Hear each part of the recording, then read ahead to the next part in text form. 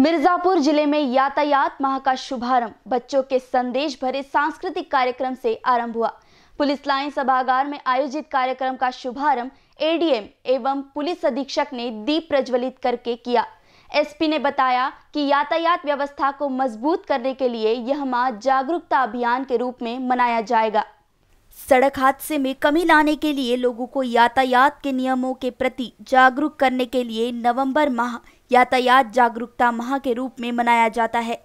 इस वर्ष अभियान का शुभारंभ समारोह के साथ पुलिस लाइन सभागार में किया गया। स्कूली बच्चों ने गीत संगीत के बीच संदेश से समाहित नाट्य मंचन किया। एसपी ने कहा कि नवंबर माह जागरूकता माह के रूप में मनाया जाएगा। लोगों को जागरूक करके सड़क हादसों में कमी लाने का प्रयास किया जाएगा।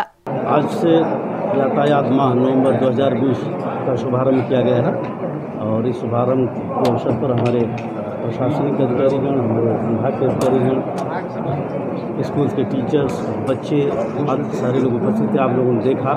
उन्होंने कविनी के ज़रिए बहुत बढ़िया प्रस्तुतिकरण भी किया। कई लोगों ने यातायात प्रबंधन के बारे में बताए ये पूरा माह यातायात के लिए संबंधित है। जिसके ज़रिए हम लोग सड़क दुर्घटनाओं में कमी लाएँगे और ये प्रयास करेंगे कि यातायात प्रबंधन अच्छा बना रहे।